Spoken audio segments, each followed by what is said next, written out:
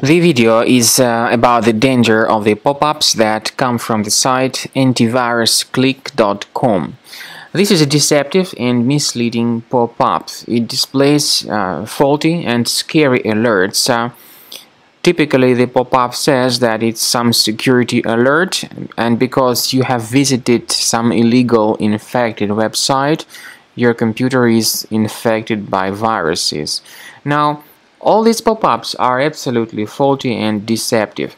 They claim to be related to some well-known security program, but they are not related to that program.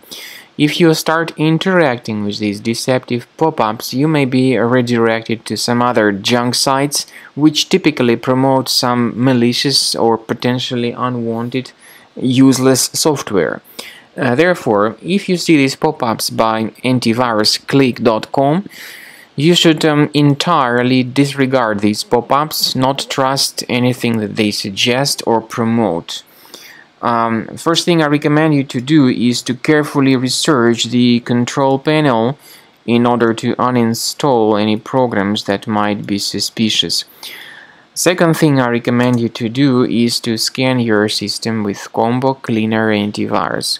You may get it on the page combocleaner.com download the software, install it, and uh, begin researching your system with its help in order to identify and eliminate other threats.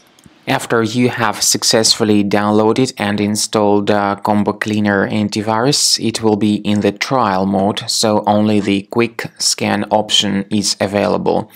Click on Start Scan button. The program will uh, first of all update its uh, antivirus database uh, for proper malware detection and uh, elimination. You will notice that most likely the program will start identifying certain threats on your computer. While the scanning is taking place, you may experiment with some of the uh, settings of Combo Cleaner antivirus. For instance, uh, there is a special feature called anti-ransomware, which is the part of the premium license. Anti-ransomware feature of Combo Cleaner helps you to add one or several folders on your system that will be protected uh, against all sorts of ransomware attacks.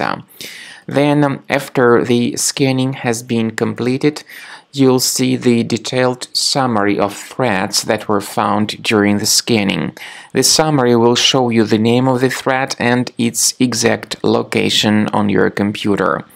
You'll be able to remove each threat manually by going to these locations, or you may consider upgrading to the premium license to remove these threats automatically.